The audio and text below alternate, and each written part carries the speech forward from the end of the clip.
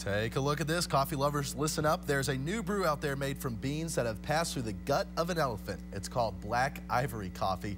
Handfuls of ripened coffee cherries are fed to elephants on a reserve in Thailand.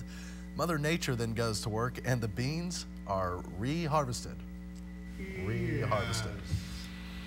Do we need to say more? Coming up at 6, students in Boonville are preparing to take an exam, a drug exam. And MU's campus is working to create gender-neutral housing. Did we just run a story about elephants? I was going to get a cup of coffee. I think I'll wait till later. Yeah. I got, we need to proofread that script. I just cannot believe that. Mother Okay. Nature does re-harvested, so. All right, have a great weekend, we'll see everyone. you I'll be back here at 6. Enjoy your dinner.